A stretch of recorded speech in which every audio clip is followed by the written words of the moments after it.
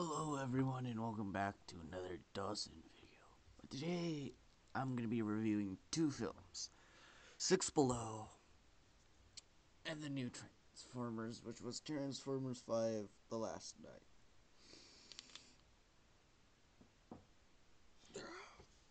I'm going to start with Six Below because um, my mom knew who, um,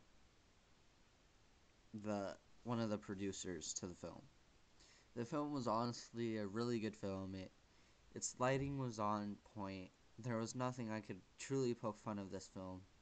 If you want to watch a motivational film, this is the film to watch.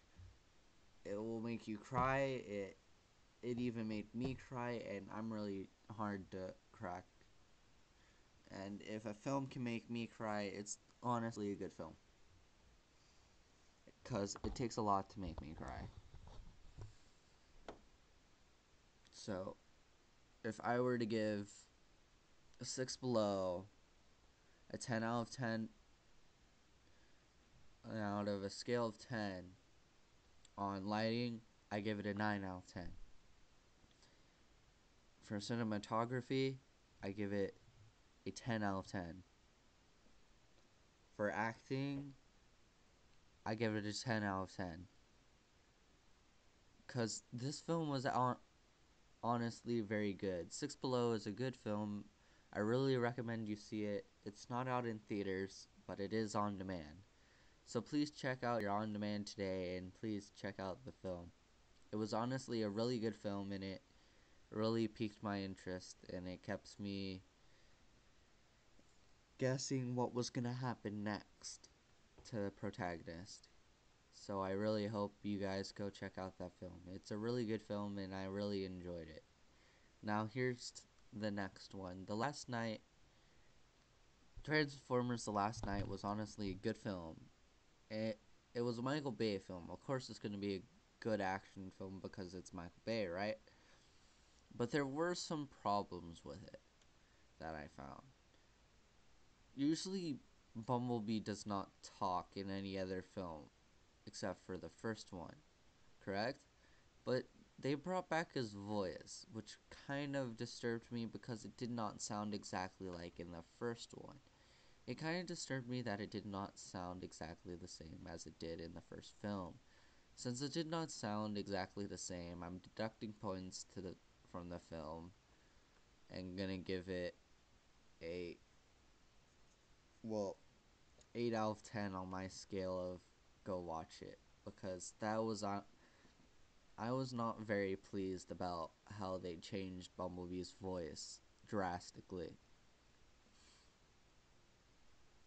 It wasn't a drastic change, it was just a different tone of voice.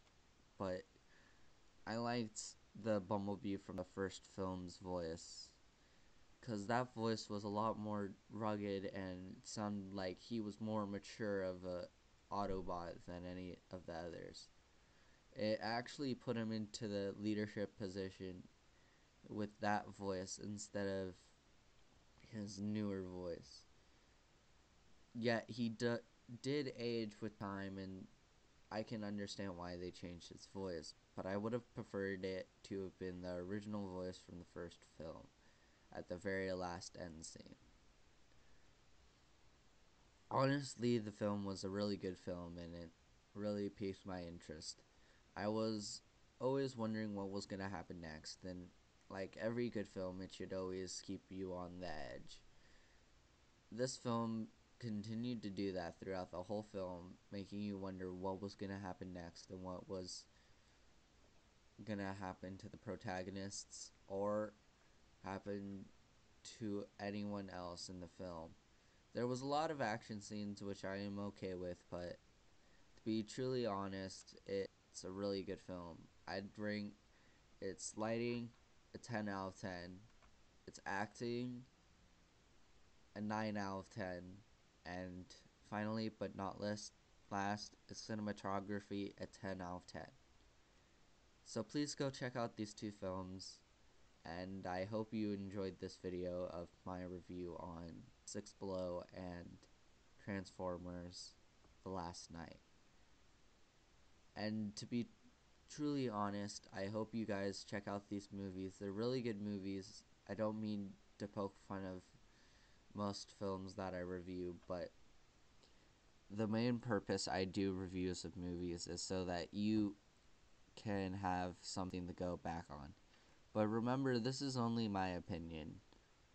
Your opinion outranks my opinion. So if you want to go see the film, be my guest. It's your opinion over mine. Everyone is entitled to their own opinions, and this is just one out of many. Please go check out the films and watch them and re- and tell me what you thought of the film.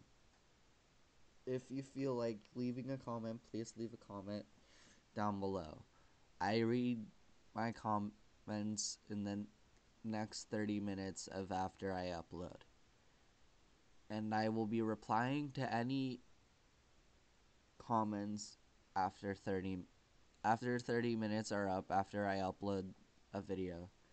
I will no longer be replying to comments on that video. After that video is uploaded, I will only reply for 30 minutes after the upload.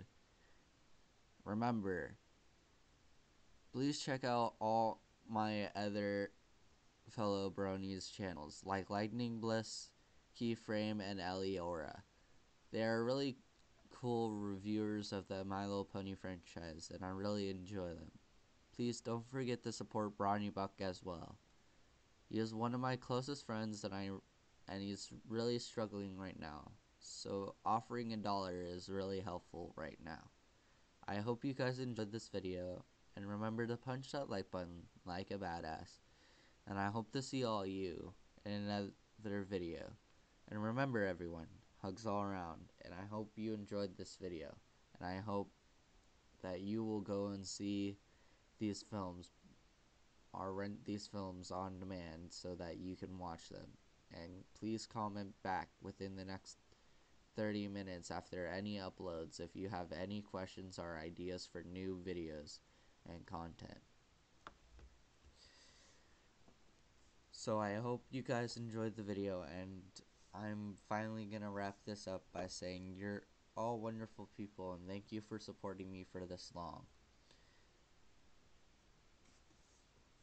I'd like to thank every single subscriber for subscribing to my channel and I'm to end the video here. So have a fantastic rest of your days and I hope your days are filled with smiles because you only have a bad day when you say you're having a bad day. Please enjoy the rest of your day. Goodbye.